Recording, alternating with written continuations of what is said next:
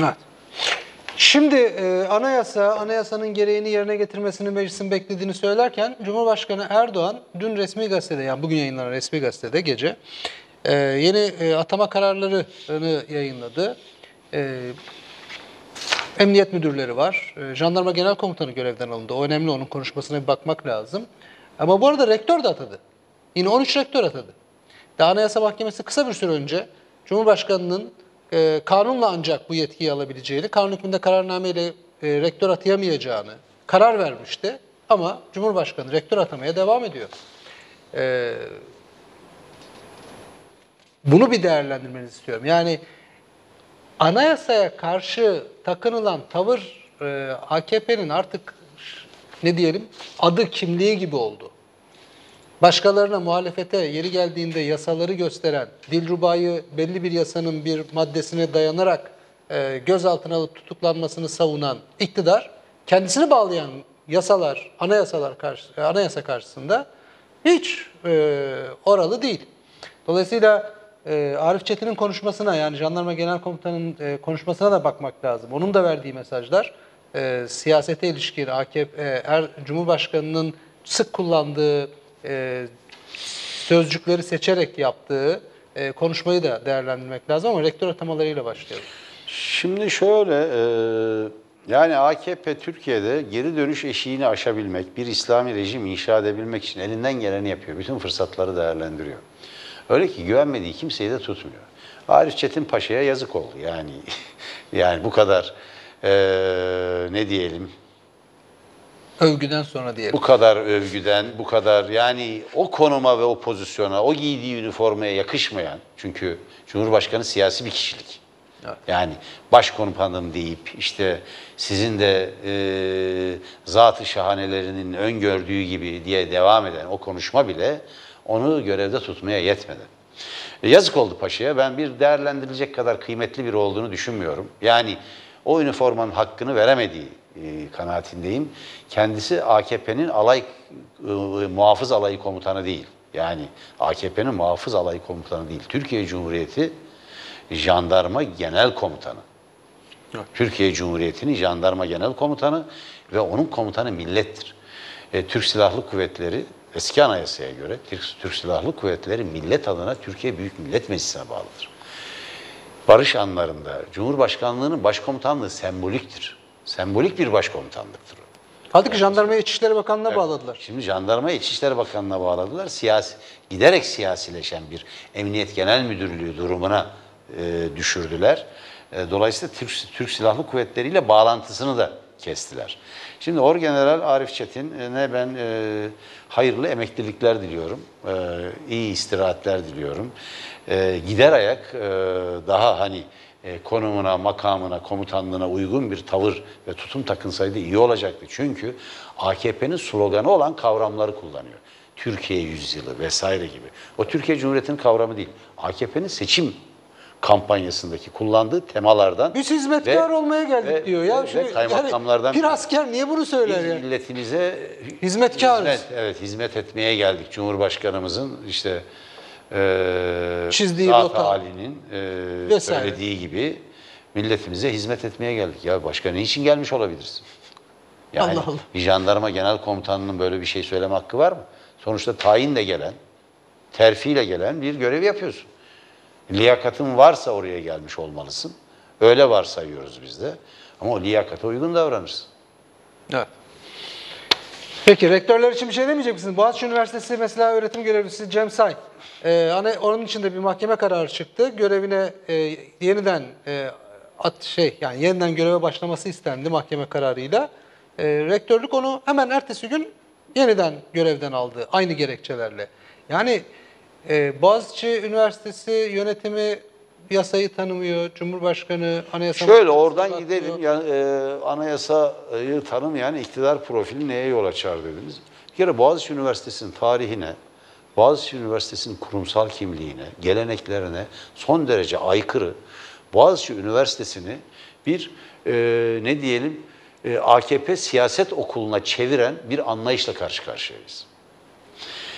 Bir mahkeme kararını tanımamak Boğaz, Boğaziçi Üniversitesi'nin yani kültürel geleneğine, kurumsal kimliğine aykırı her şeyden önce. E, hala öğretim üyeleri iki yıla yakındır her gün direniyor. Her e, pazartesi bildiğim kadarıyla, pazartesi ya da cuma. Her pazartesi, her pazartesi o öğretim üyeleri direnmeye devam ediyor. Şimdi bakın, e, Bloomberg'in yaptığı bir araştırma var. Şimdi Bloomberg Economics. Analizine göre diyor ki Türkiye siyasi çalkantı riski en yüksek ülkeler arasında dünyada. Sadece ekonomik kriz bakımından demiyor. Siyasal bakımdan da. Evet.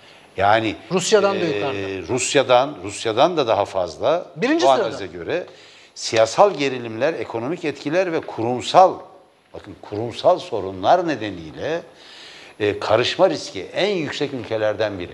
Bu nedenle ekonomik kriz daha da derinleşecek. Türkiye'nin yapması gereken en acil iş bu iktidardan kurtulmak. Hiçbir kurumsal kimlik bırakmadılar. Bakanlıklarda bakan yardımcısı var ya. Müsteşarlıkları yok ettiler. Müsteşarlık Osmanlı'dan devralınan bir kurum. Devletin sürekliliğini sağlıyor. Devletin hafızası yok. Devlet haklı filan gibi laflar dönüyor. Bu hala liberaller derin devlet, devlet haklı, devlet devreye girer, devletin kanatları arasında çatışma. Yok böyle bir şey. Yani devleti filan izledikleri yok. Yani solun bir kısmının da devletle bir bağı da, devlette elama şeyi de, taraftarları da kalmadığı için oradan doğru düzgün haber de alam, alama- e, alamıyorlar ve doğru analizler de yapamıyorlar. Böyle bir şey yok. Devlet haklı diye bir şey kalmadı. AKP haklı var. Devlet haklı beşte beşte. Ve AKP'nin kurma heyeti. Kimse onlar. Derin devlet mi? Onlar işte yeniden yapılandırmaya çalışıyorlar. Bakın Özel Kuvvetler Komutanlığı'na son 20 yılın en büyük tayini yapıldı. En büyük tayinleri yapıldı. Emniyet, MİT, Özel Kuvvetler Komutanlığı'na bakarsın. Bunun sivil ayağına bakarsın. Cihatçılar işte derin devletse bunlar. Yasa da yok, anayasa da yok. Yasayı ve anayasayı tanımamak kuralsız bir rejim demektir. O rejime demokrasi filan denmez. Böyle bir rejimde ya AKP'nin 2017 referandumunda yaptığı ve antidemokratik birçok maddesi olan, boyutu olan anayasayı savunmak bize kaldı ya. Kadere bakar mısın? Böyle bir şey olabilir mi? Yani bu en azından siz kendi anayasanızın kimi kurallarına uyun demek bize düştü. Onlar buna da uymuyor. Gerektiğinde İki uyuyor. kere de referanduma götürdüler anayasayı. İki kez. Ama asıl referandum 16 Nisan 2017 referandumudur. CHP'nin tarihinde bir kusur varsa en büyük kusur o referandumu kabul etmektir. O referandum yasaya ve anayasaya aykırı bir şekilde Yüksek Seçim Kurulu'nun kendisini yasama organının yani Büyük Millet Meclisi'nin yerine, yerine koyarak verdiği bir kararla geçersiz bir buçuk milyon oyu ki bir buçuk milyondan fazla yuvarlamak için söylüyorum aslında bir buçuk milyonun üzerindeki oyu geçerli sayıp evetlerin 51'i biraz aşan bir miktarda Olduğunu söyledi. olduğunu söyleyerek anayasayı geçirdiler. Referandumu geçirdiler. O haliyle bile dünyanın en az oyla kabul edilmiş anayasasıdır. En Ve- az oyla. ve- Beğenmediğiniz 1961 anayasası, bunların beğenmediği Türkiye tarihinin ve Batı'nın en demokratik anayasasıdır. 1961 anayasası yüzde 62 ile kabul edildi. Ve devletin kolonlarını, kirişleri yak yıktılar. Yani az önce söylediğiniz müsteşarların müsteşarlığın kaldırılması iktidar değişikliklerinde e, hani devlet aklı bugünkü AKP iktidarı ama yerine gelecek yeni yönetimi kadrosuz bırakacak. Yani devleti bu kadar zayıflatacak, devlet devamlılığını ortadan kaldıracak e, Bakın, evet. düzenlemeler yaptılar. Şimdi ben Süleyman Demirel'le Gündüz Sokak'taki evinde bir sohbet ettim. Ya dedi biz bu planlamaya filan karşı çıktık ama devlet planlama teşkilatı devletin şeyidir, envanterini tutar. Biz işte plan değil pilav lazım filan dedik işte serbest piyasacıyız ya dedi. Enteresan bir adam yani ömrünün son döneminde e, Cumhurbaşkanlığı dönemi dahil e, hatta şey e, çok e, Uğur Mumcu yani bir darbe daha olsa Süleyman Bey siz sosyalist olacaksınız galiba demişti biliyorsunuz. Yani o zaman dergilere Nokta dergisine filan çıkmış. Evet. Onların birlikte bir fotoğrafı vardır. Uğur Mumcu, e, Aziz Nesin, Süleyman Demirel bir kişi daha var. Yani tam hatırlayamayacağım ama öldürülen ADD başkanı olabilir profesör. Muammer Aksoy. Muammer Aksoy olabilir. Emin değilim ama Muammer Aksoy olabilir. Böyle fotoğrafları vardır. O fotoğrafın çekildiği sohbette söylüyor Uğur Mumcu. Yani bir darbe daha görseniz komünist olacaksınız galiba diyor. Çünkü o kadar demokratik bir çizgi şey, bir tutum takınmaya başladı ki cumhuriyetçi tutum. Bana söylediği şey şu. Ben evinde bir ziyaret ettim. Bir söyleşi, bir röportaj için. Röportaja gerek yok ama söyleşi yapalım dedi. Özel kalem müdürü hala yanındaydı. Bizden önce Zonguldak'tan gelen bir heyet vardı, bir iş adamı ve yanındakileri e, uğurladıktan sonra bizi aldılar. E, devletin e, en önemli kurumla, üç kurumunu saydı. Devlet Planlama Teşkilatı, Hariciye dedi, Dışişleri Bakanlığı ve Türk Silahlı Kuvvetleri. Bunlar yoksa dedi devlet yok. Devletin hafızası, envanteri oradadır, onlardadır. Hariciyeyi biz Osmanlı'dan devraldık ve Türkiye Cumhuriyeti'nin bütün uluslararası çıkarlarını bilen, tutan, bu kültürden gelen bir birikimdir. Oraya karşı bir birikimi temsil ederler. Oraya müdahale etmemek, onun geleneklerine müdahale etmemek gerekir dedi. Yani kendi kadrolarını kendisini yetiştirme biçimine, terfisine, tayinlerine karışmamak demektir. Ya şeyi Merve Kavakçı'yı büyükelçi yaptılar ya. Merve Kavakçı büyükelçi oldu. Kimleri kimleri yaptılar? Yani eski Beyoğlu Belediye Başkanı Misbah Demircan'ı büyükelçi yaptılar. Murat Mercan'ı ki Washington'a büyükelçi olmak belli bir kıdemden sonra olabilecek bir şeydir. Washington, Moskova, Berlin, Paris büyükelçilikleri önemli büyükelçiliklerdir. Bunlar eee, ancak böyle birinci sınıf kıdemli, birikimli, eee, belli bir deneyi, eee, deneyimin içinden süzülüp gelen eee, diplomatlar tarafından temsil edilir bu görevler. Ya buraya Murat Mercan'ı gönderdiler. Eskişehir Milletvekili, AKP kurucusu, AKP Genel Başkan Yardımcısı. Sadece İngilizce biliyor diye. Gitti oraya. Ve orada da eee, Yahudi eee, İngilizce bilmeden de gönderilebilirdi. Onu da Mümkün, yaparlar. Mümkün. Yahudi cemaatiyle, Yahudi lobisiyle ilişkileri düzenlemek ve düzeltmek için gitti. Hep örnek veriyorum. Yılmaz Polat. Yılmaz Polat işte sinagogda diplomasi kitabında ki ben ön sözünü yazdım kitabın. Ee, kitabı daha yayınlanmadan okudum ben. Ön sözünü yazdım. Orada da belirttim ben. Ee, Yılmaz abi çok önemli bir gazetecidir ve adım adım takip etti. Belgedir, fotoğrafları var. Fotoğrafları da yayınladı içinde. Murat Mercan'ın orada görev yaptığı süre kaç yılsa yani iki yıldan fazla, iki üç yıllık bir görev süresi içinde yaptığı tek iş. Yahudi kuruluşlarını ziyaret etmek, onların toplantılarına katılmak, işi o kadar abartıyor ki sinagoglardaki dini törenlere de katılıyor. Siz misiniz anti-Siyonist ya? İsrail karşıtı, Siyonizm karşıtı. Siz misiniz ya? Yemeyin bizi yani. Bu milletin aklıyla alay etmeyin. Yani böyle bir tablo. Hariciye dedi, diğeri dedi silahlı kuvvetlerdir. Silahlı kuvvetlerde hiç unutmuyorum. Çanakkale'de askere dağıtılan tayinin şeyi vardır dedi. Belgesi vardır. Hakikaten o belge çıktı. Sabah saatinde yarım somun ekmek, üzüm hoşafı, öğlen sadece yarım somun ekmek, akşam yok. Böyle savaş mı? Bu liste oradadır. Yemen'deki askerin tayini oradaki listede tutulur. Genelkurmay'ın arşivinde. Şimdi Kozmik Oda'ya girdiler dağıttılar. Genelkurmay'ı paramparça ettiler. Türk Silahlı Kuvvetleri'nin bütünlüğünü bozdular. Genelkurmay ile ordu komutanlıklarının arasındaki bağı kestiler. Jandarmayı aldılar zaten. Dışişleri Bakanlığı'nı darmadağın ettiler, siyasallaştırdılar. Liyakat vesaire birikim Planlama kalmadı. teşkilatını Devlet kapattılar. Planlama Teşkilatı'nı kapattılar. Niye kapattılar? Çünkü Devlet Planlama Teşkilatı olsaydı e, İstanbul'a yeni havalimanı yapamazlardı. Tabii. Devlet Planlama Teşkilatı olsaydı Çorum'da, e, An- Adana'da Çukurova'ya havalimanı yapamazlardı. Tabii. Ve başka şey. Ve daha başka şeyler. Başka bir- birçok yatırım. Devlet Planlama Teşkilatı. Çünkü Yani şu Çanakkale'yi, şu Osman Gazi'yi böyle yapmazlardı. yakın, orta- Bu şehir hastanelerini tabii, böyle yakın, yapmazlardı. orta ve uzun vadeli çıkarlarına bakıyor. Diğer faktörlere bakıyor ve bir planlama yapıyor. Bu planlamaya göre... Toplumsal bir kalkınma yarara, ekonomik şeye bakıyor, Ya şöyle faturaya bakıyor. sabahtan kalktığımız zaman bir kabaca bir plan yaparız değil mi? İşte şu saatte işe gideceğiz. İşte şu şu programları haber merkezinde haberleri hazırlayacağız. Şu şu görüşmeleri yapacağız. Akşam ana haber bülteni olacak. İşte ardından da 4 soru 4 yanıt ya da 18 dakika programı. Ardından diğerleri. Bir planımız var bizim değil mi? Ya bu ülke nasıl planlamaz kendisi?